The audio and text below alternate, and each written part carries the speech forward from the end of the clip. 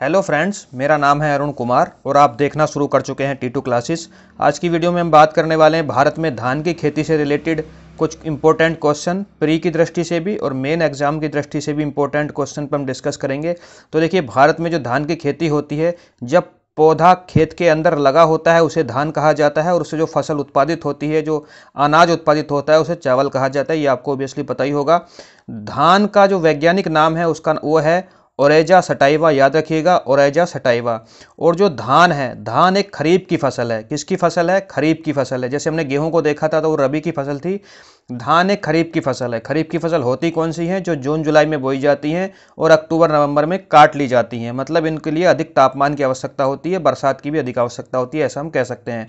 जून, जुलाई में बोई जाती हैं, अक्टूबर, नवंबर में काट ली जाती हैं, इसलिए खरीफ की फ़सल है। लेकिन इसी मौसम में धान की खेती नहीं की जाती। धान की भारत की कुछ क्षेत्रों में तीन तीन पैदावार, तीन तीन खेतियाँ की जाती हैं। मतलब साल में तीन बार भी उगाया जाता है, उसका डिस्कस हम करेंगे आगे। तो खरीफ की और फ़सलें जो हैं, वो आप जान सकते हैं। ज्वार, बाजरा, मक्का, तिल, मूंगफली, कपास, रागी और सोयाबीन, ये सारी ही खरीफ की फ़सलें हैं। जब जब खेत में धान होता है, उसके साथ साथ में जो खेती आपको जो अगर आप एग्रीकल्चर से रिलेटेड हैं, एग्रीकल्चर के बारे में थोड़ा बहुत जानते हैं तो ये सारी सारी जो फ़सलें हैं, उसी टाइम पे उगाई जाती हैं। तो ये सारी के सारी खरीफ की फ़सलें हैं। धान एक उष्ण कटिबंधीय फ़सल है, ट्रॉपिकल क्षेत्र में उगाया जाता है, भारत की जलवायु भी उष्ण कटिबंधीय जलवायु है। तापमान अधिक ज़रूरत होती है 20 से 30 डिग्री सेंटीग्रेड की आवश्यकता होती है। मिट्टी की बात करें तो चिकनी मिट्टी में, दोमट मिट्टी में और कछारी मिट्टी में ये फ़सल अच्छे से होती है। बेसिकली ऐसे मिट्टी में ये फ़सल अच्छे से होती है, जहाँ पर पानी भरने के बाद कुछ देर तक ठहर सके। रेतीली भुरभुरी मिट्टी में धान की खेती नहीं हो सकती, इसलिए आप देख पा रहे हैं इस नक्शे में भी, इस मैप में भी, राजस्थान में धान की खेती नहीं होती, क्योंकि वहाँ मिट्टी में पानी जो है वो ठहर नहीं सकता। यहाँ पर मिट्टी में पानी के ठहरने की बहुत ज़रूरत होती है। धान की खेती में ऑलमोस्ट हर टाइम ही पानी भरा रहना चाहिए। अगर आप थोड़ा बहुत भी एग्रीकल्चर से रिलेटेड हैं, संबंधित रहे हैं किसी समय तो आप जानते होंगे। धान के खेतों से मीथेन गैस, एक मीथेन गैस होती है सी एच फोर उसका लगातार उत्सर्जन होता रहता है। उसकी जड़ों से धान की जो तो जड़ें होती हैं, वहाँ से सी एच फोर गैस का उत्सर्जन होता रहता है। तो इस तरह से आप कह सकते हैं कि पर्यावरण भी विषैला होता है धान की खेती करने से। एक तथ्य ये भी है। वर्षा की बात करें तो 150 से 200 सेंटीमीटर वर्ष, वार्षिक वर्षा की आवश्यकता होती है। मतलब धान की खेती के लिए अधिक वर्षा की आवश्यकता होती है। आप मैप में देख सकते हैं, भारत का पश्चिमी तट, पश्चिमी घाट, भारत का पूर्वी तट पे जो मैदान है और ये नॉर्थ ईस्ट वाला क्षेत्र, जहाँ पर अधिक वर्षा होती है। प्लस ये तराई वाला क्षेत्र हिमालय की तलहटी में यहाँ पर धान की अधिक खेती की जाती है, क्योंकि यहाँ पर वर्षा भी अधिक होती है। लेकिन इसका कुछ एक्सेप्शनल भी है। यहाँ आप देखेंगे हरियाणा, पंजाब में वर्षा कम होती है, लेकिन यहाँ पर धान की खेती की जाती है सिंचाई के द्वारा। सिंचाई बहुत अधिक करने के, करते हैं यहाँ पर और सिंचाई के द्वारा धान की खेती की जाती है। तो धान की खेती को सिंचाई के द्वारा भी किया जा सकता है। बसरते मिट्टी आपकी चिकनी दोमट और कछारी होनी चाहिए, और तापमान बीस से तीस डिग्री सेंटीग्रेड होना चाहिए। सिंचाई करके भी इस खेती को किया जा सकता है। चावल, जैसा कि मैंने आपको बताया, भारत की जो अधिकांश आबादी है, उसका मुख्य भोजन है और भारत में सबसे ज़्यादा क्षेत्रफल पर उगाए जाने वाली फ़सल भी चावल ही है। कुल क्षेत्रफल के एक चौथाई हिस्से पर ये फ़सल की जाती है। विश्व में अगर बात करें तो विश्व में भारत का दूसरा स्थान है चावल के उत्पादन में। नंबर एक पर चीन आता है। अच्छा मैं जो आपको फ़सल पढ़ाते समय तथ्य बताता हूँ, कौन सा स्टेट आगे है, कौन सा देश उत्पादन में आगे है तो ये फैक्ट हर साल बदलते रहते हैं, क्योंकि हर साल उत्पादन कम ज़्यादा होता रहता है तो आप जब जिस साल भी जब भी एग्ज़ाम देने जाएँगे तो इस फैक्ट को एक बार क्रॉस चेक ज़रूर कर लीजिएगा कि कहीं ये डाटा चेंज तो नहीं हो गया है, मैं वर्तमान डाटा बता रहा हूँ। तो विश्व में चीन सबसे ज़्यादा चावल उत्पादित करता है, दूसरे नंबर पर भारत चावल उत्पादित करता है, तीसरे नंबर पर इंडोनेशिया और चौथे नंबर पर बांग्लादेश आता है। ये चारों के चारों देश ही एशिया के हैं, याद रखिएगा, चीन, भारत, इंडोनेशिया और बांग्लादेश क्रम भी याद रखिएगा। अगर हम भारत की बात करें तो भारत में इस मैप में भी आप देख के समझ पा रहे होंगे, सबसे ज़्यादा चावल जो है पश्चिमी बंगाल में पैदा किया जा रहा है।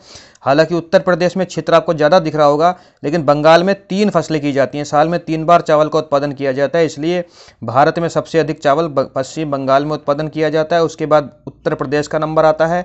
उसके बाद जो राज्य चावल को उत्पादन कर रहे हैं, उन सबको आप यहाँ पर देख सकते हैं। जम्मू कश्मीर में चावल का उत्पादन होता है, हरियाणा, पंजाब में चावल का उत्पादन होता है, उत्तर प्रदेश में होता है, बिहार में होता है, बंगाल में होता है, झारखंड में होता है, इधर आसाम वाले क्षेत्र में भी चावल का उत्पादन किया जाता है। यहाँ आप देख सकते हैं, उड़ीसा, ये है छत्तीसगढ़। छत्तीसगढ़ को धान का कटोरा कहा जाता है, याद रखेंगे आप। छत्तीसगढ़ में महानदी बहती है, महानदी की घाटी को भी धान का कटोरा कहा जाता है और छत्तीसगढ़ को भी धान का कटोरा कहा जाता है। छत्तीसगढ़ के बाद आप देख सकते हैं, मध्य प्रदेश में धान उत्पादित हो रहे हैं।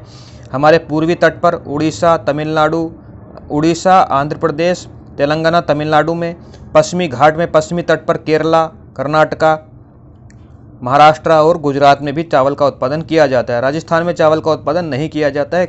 कुछ जो गुजरात से सटा हुआ राजस्थान है, वहाँ पर थोड़ी बहुत मात्रा में चावल का उत्पादन होता रहता है, होता है। तो ये मुख्य मुख्य क्षेत्र हैं। मुख्य जो बड़े वाले जो राज्य हैं, वो पश्चिम बंगाल और उत्तर प्रदेश ही। उन्हीं का क्रम याद रखना है आपको। भारत में सबसे अधिक चावल पश्चिम बंगाल में होता है। नंबर दो पे उत्तर प्रदेश आता है। क्षेत्रफल की दृष्टि से उत्तर प्रदेश सबसे बड़ा है। अच्छा चावल का जो उत्पादन करने के लिए जो परंपरागत विधि है, वो परंपरागत विधि ऐसी होती है कि चावल की पहले पौध तैयार करी जाती है नर्सरी। चावल के बीजों को एक छोटे क्षेत्र में उगा लिया जाता है, जब वो पौध बड़ी हो जाती है, वहाँ से पौध को अखोड़ते हैं और उखोड़ने के बाद पूरे खेतों में उसको पानी भरने के बाद उसको लगा देते हैं। लेकिन इस परंपरागत विधि में होता क्या है कि इसको रोपण बोलते हैं, रोपण विधि बोलते हैं। एक होती है छिड़काव विधि। छिड़काव विधि में क्या होता है, खेत के अंदर, पूरे खेत के अंदर चावल को हम बिखेर देते हैं, पानी भरने के बाद उससे भी चावल उग जाता है।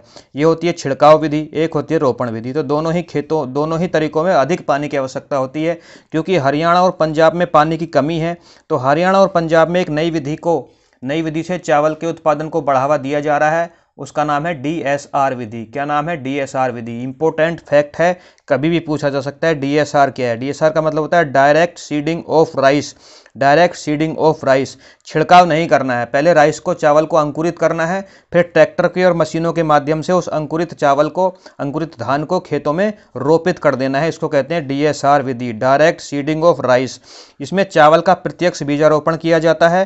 पंजाब सरकार द्वारा ये डीएसआर विधि को प्रोत्साहन दिया जा रहा है। अभी पिछले साल ऐसा भी आया था 2021-22 में कि जो किसान डीएसआर विधि से चावल का उत्पादन करेगा, उसको पंद्रह सौ रुपये का अनुदान भी दिया जाएगा ताकि इस विधि को प्रोत्साहन मिल सके। इसमें क्या होता है, अंकुरित बीजों को खेतों में मशीनों के द्वारा ड्रिल कर दिया जाता है। डायरेक्ट मशीनों से ड्रिल कर देते हैं अंकुरित बीजों को। छिड़काव नहीं कर रहे हैं हम। डी विधि से फ़ायदा क्या होगा? तो पानी की बचत होगी। क्योंकि अंकुरित बीजों को खेत के अंदर ड्रिल करने के बाद काफ़ी समय तक पानी देने की आवश्यकता नहीं होती है। और प्रति किलो पानी की हम बचत क्यों कर रहे हैं? क्योंकि चावल की खेती करने के लिए तो नेचुरल बरसात होनी चाहिए।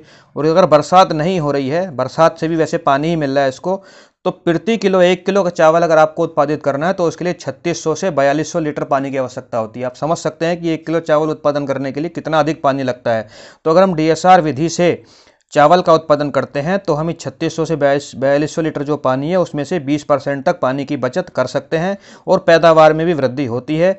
ये कुछ डीएसआर विधि की इंपॉर्टेंट बातें हैं इंपॉर्टेंट तथ्य हैं, ये आपको याद रखने ये क्वेश्चन कभी भी किसी भी एग्ज़ाम में पूछा जा सकता है कि डीएसआर विधि क्या है। अच्छा उत्पादन की विधियाँ जो हैं, वो जैसे मैंने आपको बताया, तीन विधियों से चावल का उत्पादन किया जाता है। पश्चिम बंगाल में विशेष रूप से, इसके अलावा तमिलनाडु में, आसाम में। साल में तीन फ़सलें ली जाती हैं, वो कौन कौन सी हैं? एक है अमन, दूसरी है ओस और तीसरी है बोरो। अमन, ओस और बोरो, तीनों नाम आपको याद रखने हैं, कई बार पूछे गए हैं। अमन, ओस और बोरो चावल को उत्पादन करने की तीन विधियाँ हैं, अमन को साली भी कहा जाता है। तो अमन या साली, इसी से भारत में जो मैक्सिमम चावल का उत्पादन होता है, इसी विधि से किया जाता है, अमन या साली विधि से। शीतकाल में चावल को बोया जाता है। देखिए, चावल जो है उष्ण कटिबंधीय फ़सल है और 20 से 30 डिग्री सेंटीग्रेड तापमान की आवश्यकता होती है, लेकिन इस विधि से अम्मन या साली विधि से शीतकाल में भी चावल का उत्पादन किया जाता है और इसमें चावल बोया किस तरह से जाता है तो रोपण और छिड़काव दोनों विधियों से ही बोया जाता है। रोपण कैसे होता है, छिड़काव कैसे होता है, परंपरागत विधियाँ मैं उसके बारे में आपको बता चुका हूँ। ओस विधि जो है, वो शरद ऋतु में होने वाली विधि है। शरद ऋतु मतलब ना ज़्यादा गर्मी, ना ज़्यादा ठंडी। शीतकालीन तो मतलब ठंड। ओस विधि से शरद ऋतु में चावल उगाया जाता है, इसमें छिड़काव विधि को अपनाया जाता है और बोरो विधि से ग्रीष्म ऋतु में चावल उगाया जाता है, इसमें रोपड़ विधि को अपनाया जाता है। बोरो विधि से जैसे उत्तर प्रदेश में चावल पैदा किया जाता है, वो बोरो विधि से ही किया जाता है। ये ग्रीष्म काल में पैदा होता है, बोरो विधि। तो तीनों विधियाँ आपको याद रखनी है, अमन, ओस और बोरो। अमन शीतकाल में है, ओस शरद काल में है, बोरो ग्रीष्म काल में है। इन तीनों विधियों से ही पश्चिमी बंगाल, तमिलनाडु और असम में तीनों ही फ़सलों का उत्पादन किया जाता है। तीनों विधियों का उत्पादन से उत्पादन किया जाता है, इसलिए पश्चिम बंगाल चावल के उत्पादन में सबसे ज़्यादा आगे है और यहाँ पर बरसात तो खूब होती ही है। डीएसआर के बारे में फिर से मैं आपसे चर्चा करना चाहूँगा। क्वेश्चन अगर इस तरह से एग्ज़ाम में आ जाए कि डीएसआर विधि से चावल उत्पादन उत्पादन करने के क्या फ़ायदे हैं, क्यों उगाए जाने चाहिए चावल? तो देखिए, डीएसआर विधि से कम श्रम की आवश्यकता होती है, क्योंकि चावल को पहले नर्सरी से उखाड़ना, उखाड़ने के बाद उस पौध को पानी में लगाना, इस सारे की काम कौन कर रहा है? मशीनों द्वारा किए जा रहा है। तो कम श्रम की आवश्यकता है। आवश्यकता श्रम की कम है तो लागत भी खेती को करने में कम आएगी। तो कम लागत लगती है डीएसआर विधि के द्वारा। दूसरा मैंने आपको बताया, पानी की बचत होती है। बीस से तीस पानी को बचाया जा सकता है डीएसआर विधि के द्वारा।